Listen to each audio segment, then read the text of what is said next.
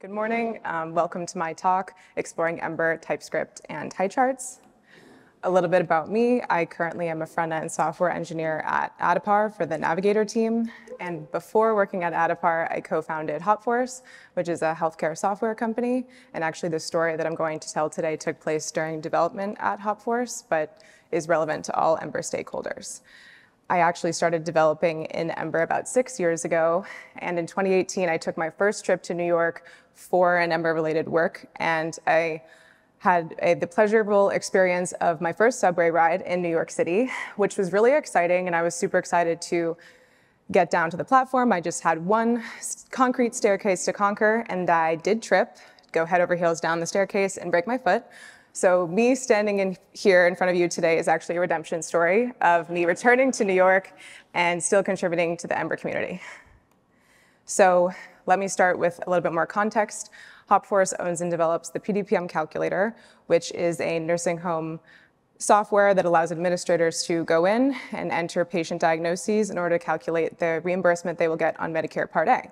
So as administrators started entering more and more data, they started to ask more complex questions about this data, such as how many COVID patients did our facility treat in July of 2020, or what was the total reimbursement expected from our depression patients last month? In order for us to answer these questions, we wanted to build a data analytics tool.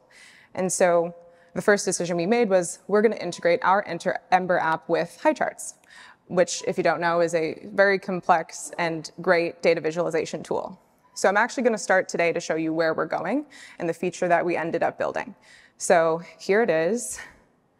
This is our little data analytics tool. It's showing our HighCharts graph re-rendering upon each click of a different grouping. Here you're seeing the nursing case mix groups, which are different nursing category diagnoses. And we can, yeah, so here's the chart re-rendering and re-rendering with revenue, and then we actually can group the different things too, nursing care levels, months, weeks, years, etc. So this is what we built. So now I'm going to go into how did we get there? And this video is looping. Okay. So this, there are really three pillars to this story. The first is using Ember modifier. We actually started using a wrapper add-on, which I'll get into soon, and then we converted to an Ember modifier. And then we were able to use Ember import to implement lazy loading. And then finally, we converted from JavaScript to TypeScript and Glint. So at the very beginning, here's our very first iteration of code, and we were using the Ember HighCharts wrapper add-on in order to do this. It's pretty um, simple invocation of the HighCharts add-on, and then a few arguments, which I will note because this is a wrapper, these are not the actual direct arguments that the HighCharts library itself is using, which I'm going to get back to. And the accompanying JavaScript file is essentially just JSON populating the chart options that HighCharts takes in. So as our feature started to develop to increase in complexity, we started to find some drawbacks to the wrapper add-on that we were using. The first is that is obstructing HighCharts built-in types, which was a bummer because these types are really nice and robust and help to use the library. And then, as I just mentioned, through using different arguments. So that forced us to not only learn HighCharts, the library we really wanted to use, but also read about and learn more about the wrapper add-on and how that's abstracting as well. Finally, we had some issues with scroll position and initial rendering. In some cases, the chart would be missing, missing on initial render. And then when changes needed to be made for the graph to re-render, we would lose our scroll position, which would force you know, the scroll position to default to the top of the page, and most times this would push the graph out of sight, so the user would miss the re-render entirely. So kind of thinking about these drawbacks, we started to dig into, well, what actually is this wrapper add-on doing for us? And also, what is an add-on anyways? So this, there's three layers of abstraction here. The first is our Ember app, which in this case was the PDPM calculator. And then the middleman was the wrapper, wrapper add-on that we were using called Ember HighCharts. And then third, the actual library we're trying to use, which was HighCharts, of course. And it should be mentioned that the reason that wrapper add-ons were initially created in this context were to help us to get access to these third-party libraries. And so in this case, they're really adding, they're acting as um, a layer of glue. And they can be, wrapper add-ons can be very useful and have been for some time. And however, they can be difficult for us to customize and change to our liking. So digging a little bit deeper now into the Ember HighCharts add-on specifically, some history here, you may notice this add-on was built during the time of Ember native components before converting to Glimmer components. So you may see some remnants of that here. And you may also notice there's the did insert and did update Ember render modifiers being used. These are trying to track the insertion and updating of the DOM. So essentially the crux of what is trying to, what is going on here is that the add-on was using a component to try to track the state of the DOM and trying to use a component to manipulate the DOM instead of manip manipulating the DOM itself. So it was kind of, again, like another third layer and using more modifiers to do so. So this led us to start to wonder, is there a way that we can actually just manipulate the DOM directly instead of having this third middleman? And this, of course, led us to looking at Ember modifier. So what's really awesome about this slide right here is this actually shows the 14 lines of code that we were able to write to replace the entire usage of the add-on itself. So again, what is a mod modifier? It allows us to manipulate the DOM directly. And this is important because a component's job is really to manage state, not the DOM.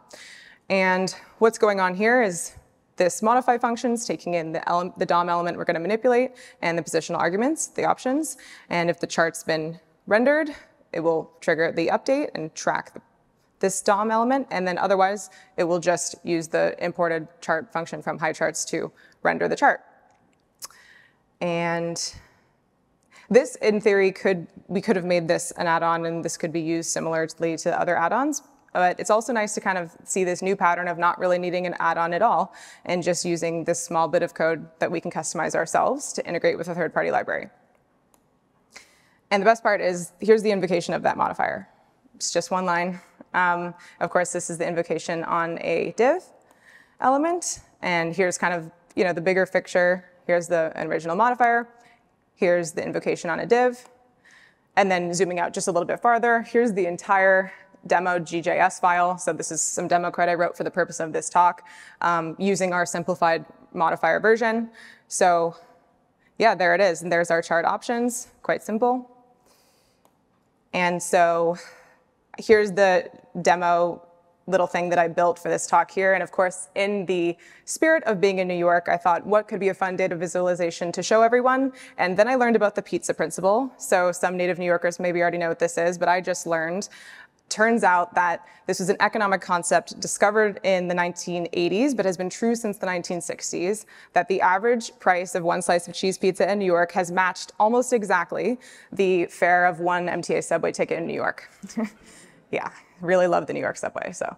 Um, and actually, it should also, I guess, be noted that this did recently change in 2023, 2024, and there's many financial articles that you can read about it, so I'm not sure what's up with that, but New York is in uproar about this.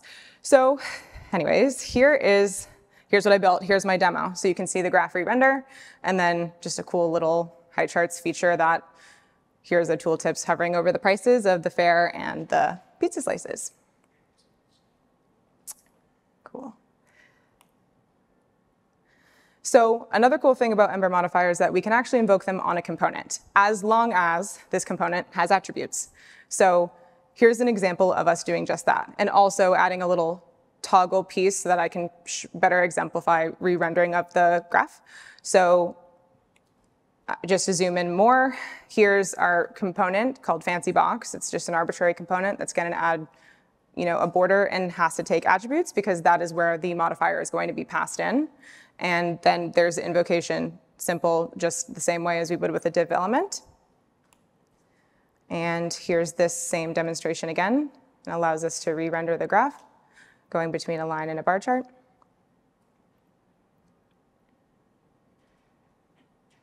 Oh, and a quick note, this is gonna come up in a bit. You'll see this little hamburger menu. This is actually a module we're getting from HighCharts that allows us to export the data into a PDF, get the CSV or data that's accompanying the graph.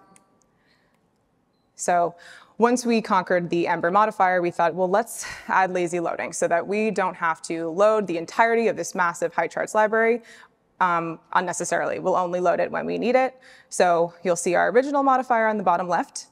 And then on the top right, here's just a normal, here's us just importing the modules that we need, the exporting data modules, what I just mentioned with that hamburger menu, and then exporting as normal. Um, now let's go from that example to lazy loading. So this is where it gets cool. We're now able to, if you look at this load HighCharts task, we can actually import HighCharts and the HighCharts modules that we'd like to use dynamically. And what I'd like to point out here is that this is an ability that we have both in Ember Auto Import and Embroider. So yeah, this is, that's what I wanted to touch on here. And so let's, let me take a progress check. Let's see, where did we start? We started with implementing this modifier, invoking it on another component. Now we've just added lazy loading, which is now something we can do in most Ember apps with Ember import or embroider, auto import, sorry.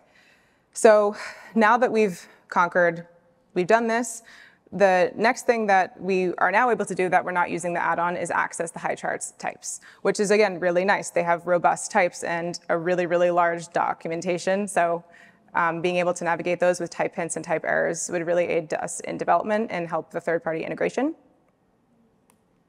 So what does our modifier look like in TypeScript? Here it is.